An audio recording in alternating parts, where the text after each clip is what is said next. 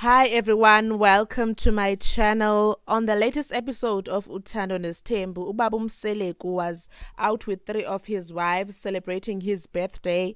Macele wasn't there because she was sick. They were doing playful activities like bungee jumping. Umayeni was having so much fun, she didn't want to stop. So after they were done with the games, they went out to eat. At the table, they started discussing how Umayeni almost fell, and Umseleku was worried that his wife would break her back and her waist, so he wouldn't be able to be intimate with her. He was also making fun of how Umayeni doesn't stop when she is having fun in an intimate way, though.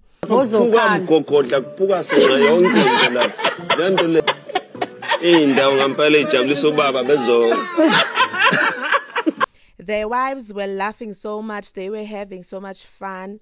Then he started teasing uMakhumalo athi she is the type to say bengicela ukubuza ukuthi baba usazongisebenzisa yini which means is my husband still going to make me work hey ay uma shuka nile nhlobo ethi ubaba usazongisebenzisa? Ngiyakutshela ke lapho sokushosholoza cha mina uzidlalela ngami bandla ngingani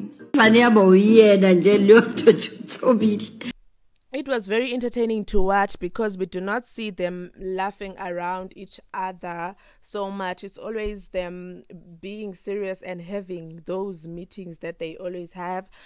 So it was very fun to watch. But what was so interesting is that um, he said, umbali umangwabe he started saying umangwabe and him do not do the deed all the time. So when they do the deed they work overtime for all the months they have missed.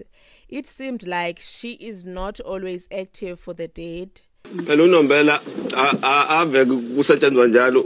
Uma sekusetshenzwa ngiyakutshela ukuthi ngifuna ukusebenzela zonke le nyanga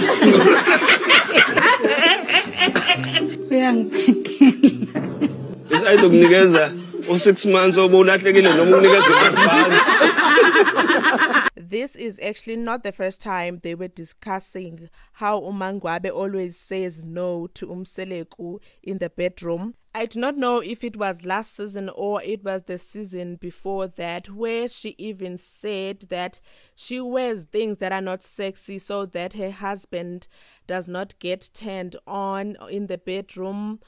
Umusa even said that sometimes she says she is not interested and she does not even want to be touched. This made me question if Umangwabe is stingy with Itlofklof or she just gets tired from working overtime as a nurse. Thank you for watching until the end. Share what you think about this video. Please like and subscribe.